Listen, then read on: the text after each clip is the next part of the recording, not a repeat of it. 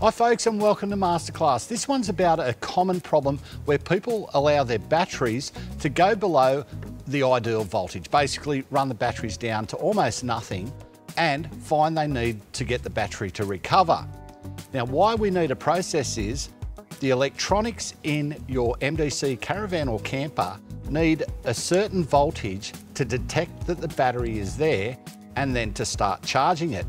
If you've allowed your battery to drain down to a couple of volts, uh, which happens regularly if you don't maintain them, you need to know how to get your Projecta charger to put enough voltage into that battery to then detect it and start the proper charging progress. How we do that is the setting on the front. On the larger Projecta charger, where you've got battery type, you can actually change the selection until you get to a setting called supply.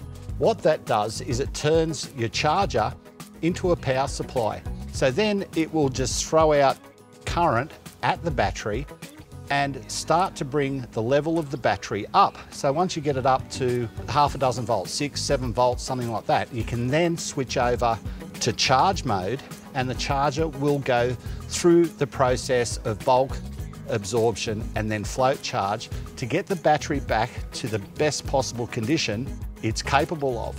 Mind you, the damage may already be done.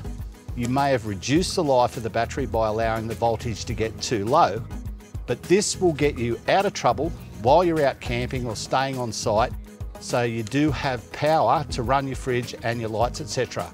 Now, all the Projecta chargers have the capacity to work in supply mode, but the larger charger also has the capacity to recondition batteries. So there's a setting there for recondition. So once you've got your battery up, it's working, the charger knows it's there, you can actually hit the recondition setting and it'll go through the process of getting that battery in better condition provided it hasn't gone past the point of no return. So remember that folks, you've run your batteries down to nothing, you can't get the charger to start charging, switch your Projecta charger to supply. That will get the charger getting the battery up in voltage and then you can switch it back to normal. Remember to turn the setting back to AGM. If you've got the standard batteries in an MDC camper or caravan, they are AGM, so the charge setting on your charger must be AGM. So there you go folks, I hope that information gets you out of trouble if you find yourself with flat batteries in your caravan or camper. For more great masterclass tips, go to our YouTube channel and follow us on Facebook and you can see each one as it becomes available.